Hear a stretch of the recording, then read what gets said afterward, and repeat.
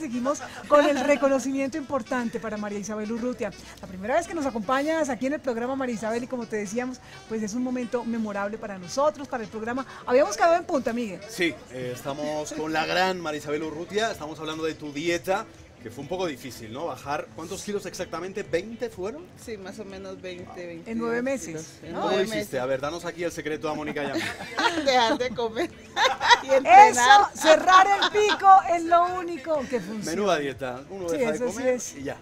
Sí, no, ¿cómo no, lo hiciste? no, cambiar los hábitos alimenticios. Sí, porque tú no podías rebajar sin y perder masa muscular, no podías. No, entonces lo que todo lo que me trajeron con la nutricionista fue ir cambiando todo el, sistema de hábitos de, de- de alimentación. Obviamente cuando competía en más de 75 yo no tenía ningún problema en comerme un pollo entero, y lo, pero ya después, ya después era una alita.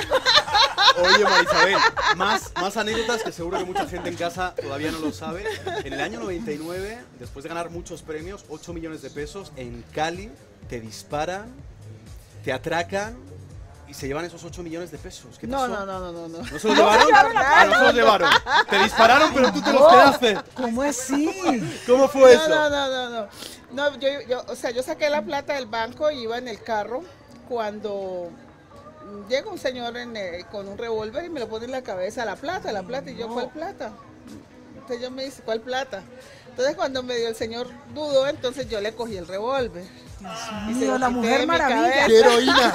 Le diste ahí con el revólver en la y cabeza. empezamos a, a luchar, con- a forcejear y a forcejear y entonces, pero entonces, pero yo tenía la ventanilla un poco arriba, entonces me logró quitar, lo único que me cortó fue así, esta parte así con el, con la parte de abajo del, del- Qué del- valiente, eres mi héroe, y entonces después me dispara, ¿cierto? Pero yo ya había movido el carro y me fui, no me los quitó. Ah, es que no sabía que, mejor dicho, ¿Quién ella era? era una guerrera. La futura medallista olímpica, medalla de oro. ¿Se imagina usted uno con tanto sacrificio, le regalan 8 milloncitos de pesos y otro se lo quiere quitar así por así? No. No. Mónica, Marisabel, ha habido un momento súper bonito en, en el video de reconocimiento. Enhorabuena a nuestros compañeros. Ese momento en Sydney, Claro. ese, ese levantamiento en alterofilia. Podemos verlo nuevamente porque tanto Mónica como yo Lo cuando vamos a estaba... buscar. Mientras lo buscamos, antes de irte para Sydney y antes de la preparación, tú le dijiste al Comité Olímpico, hagamos una apuesta, porque es que no habían incentivos económicos Ah, para los deportistas. deportivas. Entonces el deportista vivía por el honor, por el aplauso, por la medalla, pero platica no había.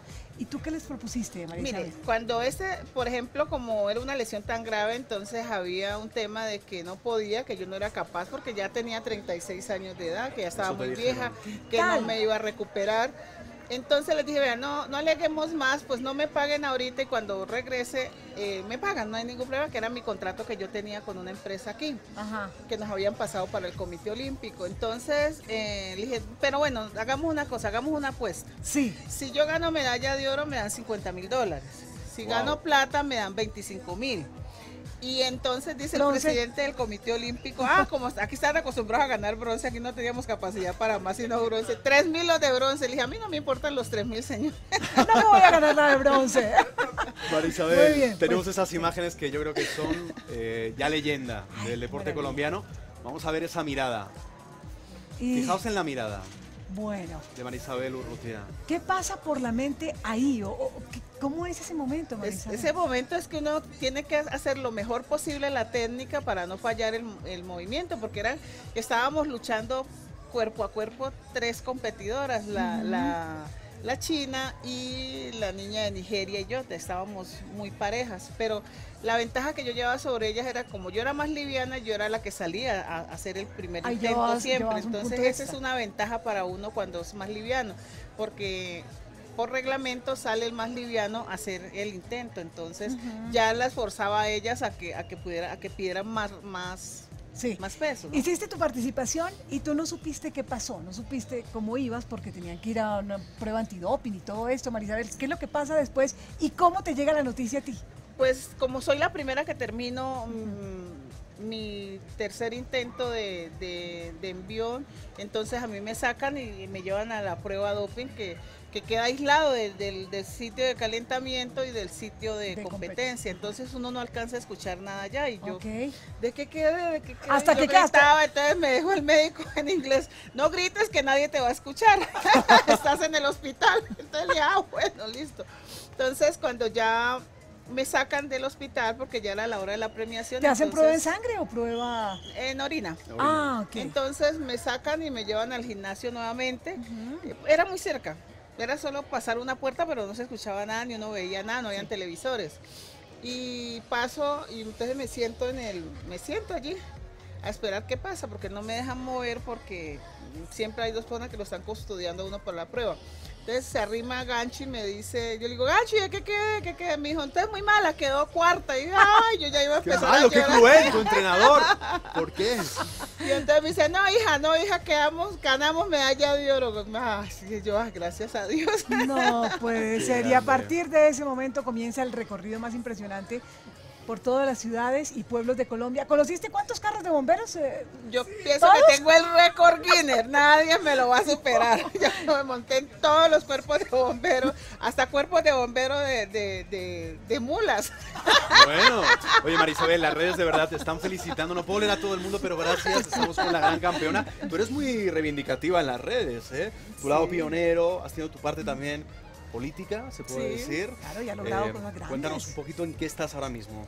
Ahora trabajo con el Instituto de Recreación y Deporte del IDRD en un programa que es 40 por 40, el cual se amplió en 40 horas el, ah, el sistema educativo para los niños. Entonces ellos hacen deporte y hacen recreación y cultura. Entonces bueno. yo voy a los colegios, hablo con los niños, les cuento mi vida y, los, y los tratamos de que ellos empiecen a practicar un deporte. ¿no? Claro, además después del paso por el Congreso de María Isabel Urrutia, pues se consiguieron incentivos importantes. ¿Te pagaron los 50 mil dólares? Obviamente, porque Ah, bien, decirlo, ¿eh? No, y, y- y allá en, en Australia, porque como yo fui por un wheel car, yo no fui por, por como Ah, equipo Colombia, yo fui una invitación, Una de, invitación, de- la. Federación Internacional. Ajá. Entonces, yo le dije, me pagan por delante, porque como aquí, la, aquí siempre dan promesas y no le pagaban a uno.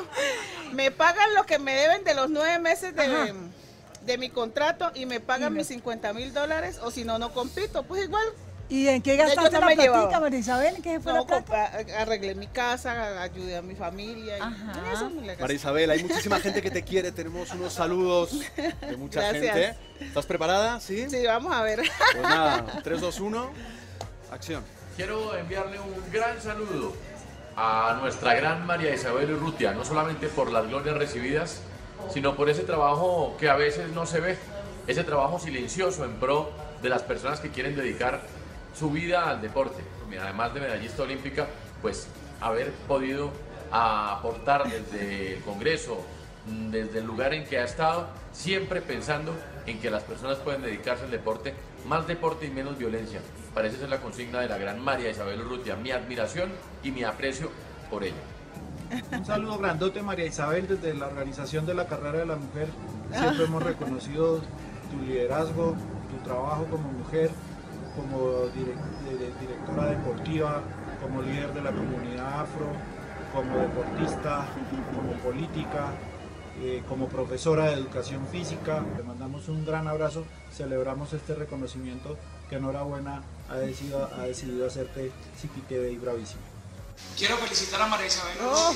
Esa morocha berraca que hace 14 años nos dio la, la primera medalla de oro olímpica para Colombia en un certamen de tal magnitud. Lo hizo en Sydney 2000, cuando la veíamos levantar tantos kilogramos para darle la gloria a un país que estaba anhelando, soñando con esto. Nos dio una gran felicidad, precisamente este servidor trabajando para el país, cuando tuvimos que hacer un gran cubrimiento, no solamente de lo que ella hizo en Sydney, sino de lo que fue la celebración de su familia, de sus amigos y de toda esa gente que la queremos. Te queremos felicitar, María Isabel, y que ojalá eh, aparezcan muchas más María Isabel Urrutia para el deporte colombiano. Gracias. Hablar de María Isabel Urrutia como deportista es muy fácil. Es una deportista excepcional, es la suma de muchísimas virtudes. Inteligente, perseverante, decidida. Eh, llegar a ser medalla de oro en unos Juegos Olímpicos es una cosa que nos pasa todos los días, no solo en Colombia, sino en cualquier parte del mundo. Como persona es tan importante, tan trascendente como lo fue como deportista. Es una persona que se ha preocupado por prepararse y tiene un bagaje tan grande que yo creo que es uno de los colombianos que mejor conoce la problemática del deporte. Me quedaría muchísimos minutos hablando de mi amiga María Isabel, a quien tengo el gusto de conocerla y por supuesto de valo- valorarla y admirarla. María Isabel es una colombiana excepcional. Tal, María Isabel, la gente que te quiere, todos los amigos están muy pendientes. Pionera. Una de las grandes pasiones de María Isabel, bueno, sin duda el deporte, sin duda estar entregada a la gente también. Eh, Debilidad, pues lavar losa no le gusta, no la pongan, nunca a lavar losa porque no, no lo hace, no le gusta. Y bailar. ¿Por qué te ¿Gusta bailar? tanto bailar? Yo bailo así. Ay, qué Me rico. encanta bailar, me encanta cocinar, pero no lavar la luz. María Isabel, aquí tenemos un dilema porque es que, bueno, eh, Miguel Sí. llegó hace algunos meses al país. Estoy aprendiendo. Yo no le he podido enseñar a bailar el rastastas, el salsa choque, pero ya que ¿Tú tenemos serías una tan buena amable de profesora- enseñarme el rastastas? Yo creo que ya sabe bailar No, bien. no, no, que está María Isabel. bonito, sabes que está A ver. Ay, vámonos. Vamos, A ver, vamos, ¿cómo es? enséñale, María Isabel, ¿cómo es? Sube el volumen. Ahí, cadera. ¿Es, más cadera o arriba? las dos. Las dos, ahí. Sangre. Ahí. Vamos, Ahí, paso dos. cinturita, cinturita, cinturita, ahí. Con la campeona olímpica. Menudo privilegio, qué orgullo. Bien. Para Isabel Urrutia. Oye, me están preguntando a través de las redes sociales. Ay, qué muy bien. linda. eh, ¿Qué deporte practicas ahora? Eh, trato de trotar un poco. Pesas muy poquito porque de todas formas eh, golpea mucho, pero sí troto y hago ejercicios auxiliares como para mantenerme. Qué y antes bueno. de irte también la anécdota, eh, tú eres una pionera apoyando al deporte, a los jóvenes, una mujer reivindicativa, berraca. ¿Es verdad que le dijiste al presidente que ayudara más a los deportistas porque tú habías lavado mucha ropa? ¿A quién fue? ¿A quién? A Pastrana. ¿A quién fue que se lo Fue a dijiste? Pastrana, claro. A Pastrana y ahora a Santos, por ejemplo. Baile, dice. Yo siempre aprovecho para decirle que es que el deporte es una oportunidad de vida. Y yo le dije, por ejemplo, que necesitábamos que él, eh, y le mandé cartas y todo, Sí. diciéndole que, que la mayoría de los deportistas negros somos de, descendientes del Chocó y que no era justo que Chocó no tuviera escenarios deportivos. Y el presidente como que tomó eso como bueno y el Ajá. gobernador de entonces, el doctor Luis Gilberto, presentó el proyecto para que Chocó fuera sede de los Juegos Deportivos 2015 y ahí por fortuna el presidente entendió que puede servir para la posguerra el tema de que hayan escenarios deportivos en el Señora Chocó. María Isabel Urrutia, Estado civil, Todos los estados ahora soltera. has pasado por todos. por todos. Pues te mereces unas flores hermosas y tenemos por aquí, mira Uy, esta vale. belleza que te trae Miguel Zuc. Perdón por Ah, la cámara, pero para mí es un tranquilo. orgullo, ser como un con absoluto muchacho incluido. honor. Con muchacho incluido, sí señora. Claro. María Isabel, para ti, bellísima. Ay, muchas Qué Es el gracias. regalo más grande que de verdad que he dado porque Pongámoslo eres por aquí. un orgullo y un honor para que no lo para este país. Aquí en Y bueno, y tenemos Gracias. también más regalitos. Tranquila. Ahí está. Acuérdate, Ah, tu mantita, Ay. tu gorrita de CDTV, tu taza. gracias. Tenemos también. ¿Ay, tiene mascota, María Isabel? Sí, Sí, ¿qué tienes? tengo un schnauzer, Ajá. entonces, y va a ser el nombre como raro, ¿no? ¿Por Se qué? llama Solo. ¿Por qué? ¿Solo? Porque eran seis mujeres y él solito de hombre. Quedó, y se llama Solo. Y le pusimos Y Solo. nos le envías, nos le envías a Solo, por favor, este regalo muy Ay, muchas especial. gracias. Por supuesto. ¿Más? ¿Hay más regalitos? Claro que sí, claro que sí. Cambiamos la música en este momento Sí. porque llega el instante en que nos da más emoción cuando hacemos el reconocimiento bravísimo porque María Isabel, esto es de parte de nuestros Ay, televidentes que te dicen gracias María Isabel Urrutia porque nos diste la primera medalla olímpica, la primera medalla de oro, porque cambiaste la historia del deporte en este país con los incentivos a nuestros muchachos, a los deportistas, porque eres una mujer grande y eres una campeona, el bravísimo. Para ti. ¡Enorme! María Isabel Urrutia. Muchas mil gracias. gracias. Muchas gracias. Mensaje tuyo para todos los jóvenes, para los deportistas. El mensaje es que practiquen deporte, que se alejen de las drogas, que hoy sí vale la pena ser deportista porque te pagan por ser deportista.